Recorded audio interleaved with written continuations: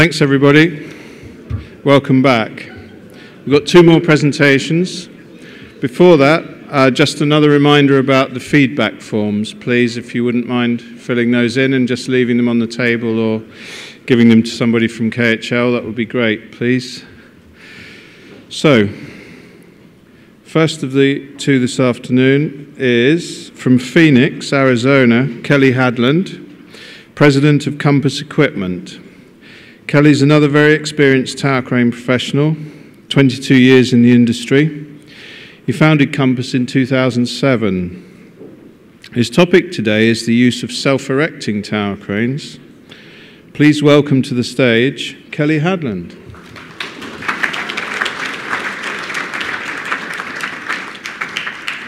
Do you have the clicker? Thank you. Good afternoon, everybody. Can you hear me okay? Yes. Awesome. Well, thanks for attending this afternoon. I know it's been a lot of speakers have come up here and given a lot of great information.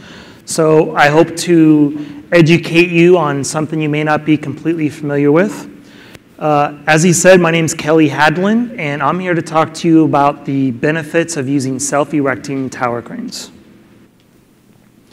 So self-erecting tower cranes are a particular passion of mine. There's a lot of unique abilities and a lot of great things about them. But I want to first describe to you what a self-erecting tower crane is. That way we're clear on the differences between tower cranes and self-erecting tower cranes. So when they're erected, they look a lot like a normal tower crane. There's a vertical mast that goes up and down. There's a horizontal jib. There's a trolley that goes in and out to change the radius. The crane swings left and right. Um, but that's where, the, that's where the similarities stop. After that, the biggest differences are that self-erecting tower cranes, by the way, my timer hasn't started yet, so if you could please get that going, thank you. Self-erecting tower cranes swing from the bottom, so they're bottom slewing tower cranes. That's a big difference. Self-erecting tower cranes set up on outriggers, much like is shown there in that picture. So instead of using a concrete foundation, they set up on outriggers much like a mobile crane does and you can adjust the heights of those to get the crane perfectly level. Another big difference, of course, is that there's no counter jib. So these cranes, the jib's held up by the suspension going up the rear of the tower, and instead of a large counter jib sticking out the back. That has some advantages to avoid obstructions and things like that. So some other unique features about it, one of, the, one of the most amazing things about it is that it folds up into the shape of basically a semi-truck. So it makes it very easy to transport going down the road. So it goes from being a, a, a small tower crane folded up into the shape of a semi truck going down the road. So it can be transported very easily behind just one semi truck uh, for the crane itself. Of course, the weights ship separately. Um, and we talked about earlier remote controls. These cranes typically, I think almost always use remote controls, usually wireless remote controls. Sometimes you'll use a wired remote control based on the crane model. There's really no, some of the models do have cabs, but the models that do have cabs, you only just sit in there and put the remote control in your lap. So they're totally a remote control operated machine. And of course, they're very sophisticated from an engineering and design perspective. So all of the engineering that goes into folding them up, there's a kind of a cool picture there on the right of one in the middle of unfolding itself. So there's a lot of things that are happening all at one time as all these linkages unfold and, and move about to make it look like a normal tower crane. So I'm going to talk more about some benefits of the different sizes, small ones, medium ones, large ones, but just some big uh, benefits that, that, that touch all of them. So one is that once it's erected, it takes up a very small footprint. Now, of course, regular tower cranes take up small footprints, but mobile cranes, reach forklifts, those take up a lot of space on a job site, whereas a self-erecting tower crane takes up a very, very small area. Typical outrigger span is about four and a half meters from center to center, and or which is about 15 feet. And once you include like the swing radius and everything in it, these cranes easily fit inside a 25 foot square area. And from that small 25 foot square area, these cranes can cover a large radius around the job. Of course, much like normal tower cranes do, but when talking about mobile cranes or reach forklifts, it's amazing the amount of area that these can cover from one small position. Also, there's no uh, expensive concrete foundation required. So these set up on outriggers, like I said before, and depending on your soil conditions and the matting that you provide, uh, typically some minimal ground preparation is needed based on your area and the laws there. They're very cost effective compared to other options, and they're much, much safer than other options. We'll touch, talk a lot about the safety of them as, as time goes on.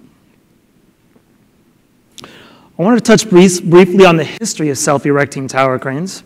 So, the best I could tell, it looks like Potain started doing some preliminary designs in the early 1930s. I don't think that product ever really made it to production. They did much with it outside of just using it in, in house. But the first real self erecting tower crane was uh, created by Liebherr in 1949. It was called the TK 10.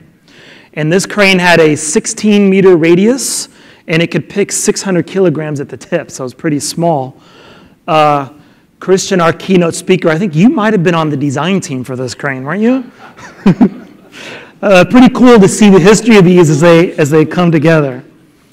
In the 70s and 80s, these machines were pretty non existent in the United States, but they were growing in popularity throughout the rest of the world.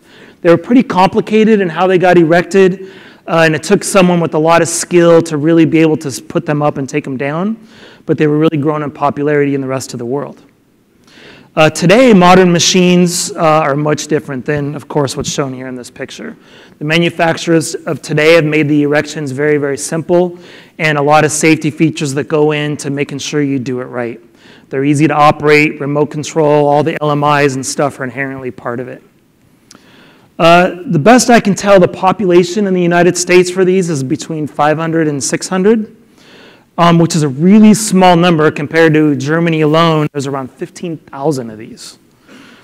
And that was one of the things that really drove my passion about this product. Um, traveling throughout France many years ago, I saw these everywhere. Uh, the population in France is very, very high as well. And there you'd see these cranes used more often than boom trucks or reach forklifts. They were just absolutely everywhere. And it really planted a seed about how can we introduce this product more in the United States and make them more of everyday part of our construction uh, procedures? So I'm going to talk about the benefits of, of small self-erecting tower cranes, medium ones, large ones, and extra large ones. So let's start with small ones. So small ones um, are typically up to about a 26 meter radius, 85 foot radius, and, and below. And the models that, that we like the most on this size, they're, the counterweights are self-contained, and the axles stay on the machine. So which means that it's very, very fast to erect. These cranes can get erected in sometimes as fast as 30 minutes. So that's a pretty cool feature when you want to move it on site or when you want to set up for a short-term job. Typical applications for this smaller size of crane are custom homes. So custom homes often have a pretty big footprint with rough terrain all of around it. And so sitting in one spot, being able to reach and set all the trusses and everything on that, on that custom homes, very, very popular. Actually, we also use them quite a bit in tract homes, which is kind of an odd application, but it'll sit in one spot, maybe be able to cover two or even four homes. Plus, they can move quite easily. Also, they're very, very popular on two to three story apartment buildings where maybe there's 10 or 15 or 20 buildings on a particular site. So since they're so mobile, they can fold up and quickly move to the next location. And you don't need a semi truck to move them on site. You can move them with a, with a forklift or a large truck. So uh, also, they're really easy to train and they're really easy to erect and dismantle. So they're a great unit to sell to end users because they're pretty simple to use. They're definitely a lot cheaper and a lot safer than a boom truck. So picture this job site here with a boom truck on it. That boom truck's sitting quite a bit further away. It's a much more difficult operation. But cost-wise, you know, if you were to put this crane out on, say, a two-month-long job, a small boom truck or truck crane is probably going to run you fifty to sixty thousand dollars for that entire time. We're putting one of these cranes out on site with an operator is twenty to twenty-five thousand dollars. And by the way, that operator is the majority of that cost. I think, like, like my note says, there, 75% of that's the cost of the operator.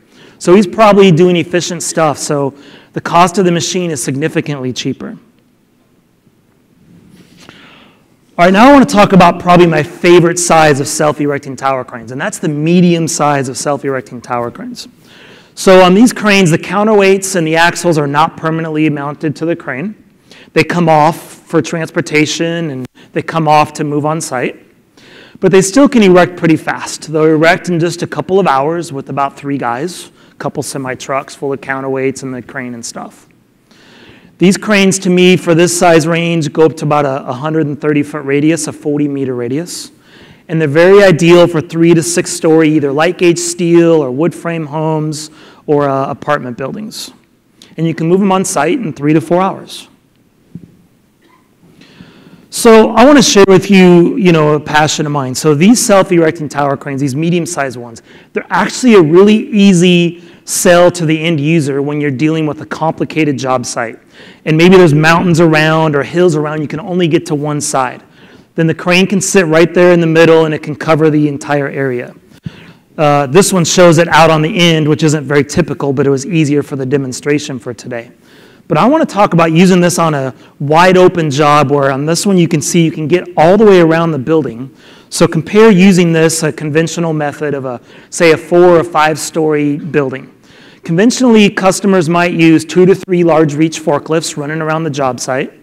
They'll have a lot of labor to move the material on site once the forklift places it up on the floors and up on the roof. And you're going to have a mobile crane come in from time to time to do certain lifts. Versus using a medium sized self erecting tower crane, you can sit in one location. You're only going to use one small forklift to just deliver material to the crane and you won't need a mobile crane to come on site. You can finish the job with less labor and complete it a lot faster. And by the way, much, much safer. Because now the product's being set right where it needs to go and being used right there. And you don't have to have people picking up big, heavy pieces of material and carrying them across the job site and maybe tripping over stuff. So, uh, from an insurance perspective, much, much safer. So, here's a cool side view of the difference, right? A reach forklift is going to precariously reach up to the top of the building and set a bundle of plywood or a bundle of steel up there. It can lift four or 5,000 pounds probably. It can get up there. Now the guys have to re- come up there close to the edge of the site and they have to physically move the material to where it's going. Obviously, a self erecting tower crane is a much more safer and efficient way of placing materials all over the job site. Being able to, on this example, reach in 117 feet uh, allows you to do a lot of great things with it. So consider the cost savings. So a traditional method of using three, two or three large forklifts, um, a mobile crane that comes and goes off the job site, uh, operators to run those forklifts, and a typical three month job, they'll probably have 20 laborers on site moving material around. And so that might cost them $350,000 for all those items. But now do the same project with a medium-sized self-erecting tower crane. Okay, you'll supply one small forklift to deliver material to the crane. Now instead of applying, you know, having as many operators, you can have a little bit less. And it's easy to convince the customer that because you can place material right where it needs to go, you can get away with just two people less on your job site. Out of 20, now I have 18 guys up there. Just two guys. It's simple to convince. And in real life, it's probably quite a bit more. And also, it's easy to convince them that you can finish that job just two days faster by having this much safety and efficiency in moving your material. And because of that, you would save $50,000. So this is a pretty exciting thing for me, kind of, it's a lot of passion for me to, to kind of change the way that the construction industry looks at three to five story buildings, even ones that have full access all the way around it. I think these are some powerful tools to show customers a cheaper and safer and better way of doing it. Now I want to talk about larger self-erecting tower cranes. So again, these, these uh, don't have the counterweights nor the axles permanently attached like the small ones. Uh, to me, a large self-erecting tower crane will go up to a radius of about 45 meters, height under hook of about uh, 30, 32 meters, 112 feet or so. Um, and they can erect pretty fast, you know, four to five hours on site, and can be done with a few semi trucks, and they can move on site fairly easily. So compare using a 45 meter self erector to a large mobile crane. Actually, not even that large. This example right here is a 120 ton, I believe. And so if you're reaching up and in on a seven story building, it's quite difficult to make that lift with a mobile crane. Uh, where a self erecting tower crane, and even, of course, a small tower crane, can sit in one location and reach in a lot further and can make the, safe, uh, excuse me, make the lift a lot more safely and a lot more efficiently.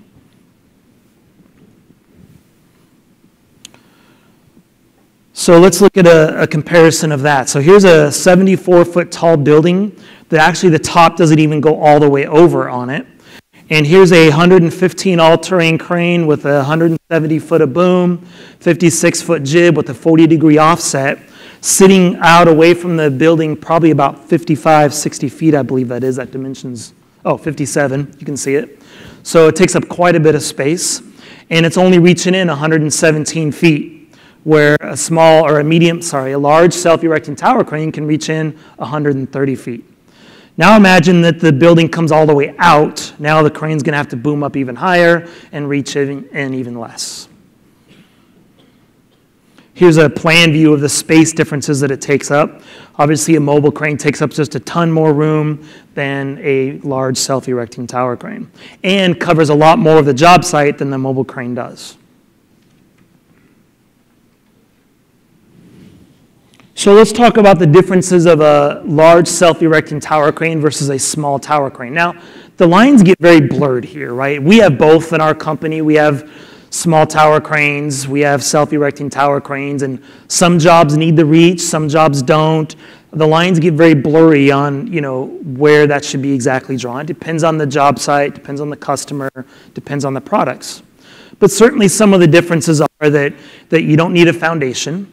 Now, small city cranes on a cross base, they can set up without a large foundation, uh, but a lot of them still do have a foundation. And even the ones that have a cross base typically are going to need quite a bit more ground preparation, even probably four pads poured to handle the extreme corner loadings. The self-erecting tower crane sets up in just a couple of hours without an assist crane. Trucking costs are less, assist crane uh, costs are gone, obviously, and they're a lot easier to operate. So here's a cost comparison of doing a foreman job. Now, 120 ton crane full time on a job like this probably never in reality would happen. That crane would be coming and going over time. But for comparison's sake, consider a 120 ton mobile crane sitting on site for a four month job. You're probably looking at a cost of 200 to 250,000 dollars for that crane to be there that entire time. If you put a small city tower crane on there, uh, without a big expensive foundation, but maybe it's four concrete pads, the assist crane, the trucking, the erection crew, all the costs that go in with that, you're probably looking at about $150,000 cost. Where with the large self-erecting tower crane, the cost is much less at only 100 to 115,000. So huge cost savings for this product. Touch briefly on extra large self-erecting tower cranes. This isn't a product that we have in our fleet, but it's really growing in popularity, and it's really popular over out here on the East Coast. Uh, they're still very fast to erect compared to a tower crane. You probably would use a small assist crane to erect these to set the counterweights on them, depending on the job site. But it still sets up with you know three to five guys in, in a short day. And typically those will reach out to about a 50 meter, 160 foot radius. All right, so some more benefits for this product. So I've touched on a handful of these, but for sure you can show easily that there's a reduced schedule, especially when you're comparing against uh, on a medium self-erecting tower crane against like a reach forklift and a mobile crane. It's easy to show that the job's a lot more efficient and can get done quite a bit faster. So because of that, the schedule's shorter, the efficiencies are quite a bit better, and everything on the job site can move a lot faster. It eliminates double handling of materials because these cranes can set the material right where it's needed um, instead of setting it up on the edge and having people carry it over and erect it. Um, and this isn't big out here, but for us out on the west, dust control is a really big deal. Um, self, self-erecting tower cranes cause no dust. they just sit there, right? And so reach forklifts driving around the job site are constantly kicking up dirt. They're running over, hopefully not people, but they're running over nails or running over boards. They're kicking up dust and causing a lot of drama on the job site. So that's a big selling point for us. Takes up a uh, very little amount of space, like I discussed earlier, compared to a mobile crane or, or reach forklifts running around. Um, and the cost efficiency we discussed quite a bit. I think it's easy to show how awesome these are from a cost perspective. And they're easy to learn how to operate. They're not really easy to learn how to erect, but they're really easy to learn how to operate. Once they're up and, and working, it's very simple for the operators to use them. Also, it's a very, very green product. A lot of these run off electricity now. A lot of times they'll supply generators, but there's a lot of times the job site has power, and so you can plug right into 480 volts or 240 volts, depending on the crane, and it's a much greener uh, solution for the environment. Safety features, of course, they have all the built-in safety features that most cranes do. Uh, but one of the things that I love is that there's not a lot of choices for the operators to make right? On a mobile crane, you got to pick, you got to tell the computer how much counterweight you have, full outriggers, half outriggers, two part line, four part line, fixed jib, full jib, all this different stuff. You don't have to do any of that with self erecting tower cranes. It's all set up and ready to go. And there's no override button. On those remote controls, there's no button to push to take the load out just a little bit further or do just a little bit more. You cannot do it. Only a technician that can get in to the panel that would know how to do that. A Couple of quick disadvantages. So they're definitely more difficult to move on site than a mobile crane, right? Uh, they don't have a chassis, and so mobile cranes can fold up and move around site pretty easily, where self-erecting tower cranes take several hours to do that. They're more expensive to purchase than a small tower crane of an equivalent size due to the complexity of all the linkages and hydraulics and cables and pulleys that are going on. Compared to tower cranes, they have limited capacities and reach. They can't go up 600 feet tall. They can't reach out, you know, 80 meters. So they're pretty limited in their size. And they're pretty sophisticated. The way they all fold up and go from being 150 feet tall or 150 feet long to the size of a semi truck, uh, there's a lot to it. So there's, there's definitely a lot of complications there. Um, almost out of time. One of the things that uh, my partner and I love about our company is just the people that are in it. And, uh, you know, this is what makes, makes the product the best that it can be. These guys are out there pushing hard to make the product really good. And, you know, this is what really backs us up. So I'm almost out of time. I won't talk too much about that. Just as a quick conclusion, it's a fantastic product that in the right application is, is really unbeatable. I mean, there's solutions, there's job sites out there where this is the absolute perfect application. And there's a lot of jobs where it'll really outperform all the traditional means of, of lifting. They're really growing in popularity around the United States. So, you know, I think that population percentage will increase quite a bit. Um, and there's significant savings to the customer and good ROI for crane companies. So that concludes my presentation for today. Thank you for listening.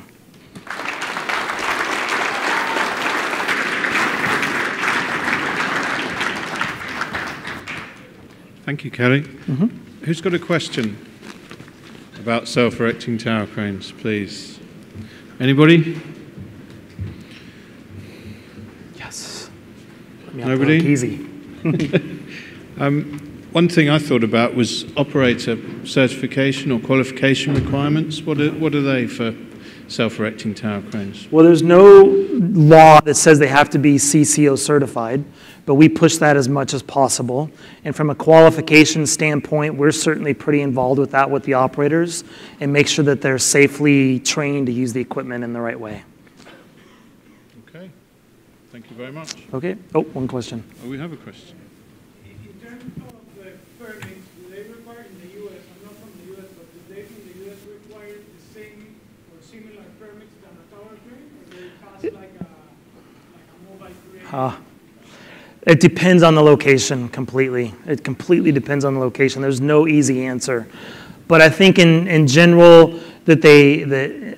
inspectors treat it more like a tower crane than they do a mobile crane.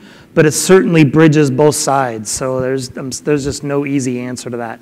In California, it's difficult. In most other states, it's pretty easy and there's no permits required. Thank you. Another question. We wait for the microphone.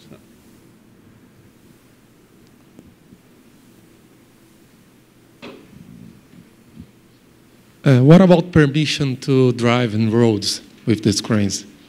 So you saw earlier that there was a, a picture with a semi truck and the crane was all folded up and it was on a set of wheels.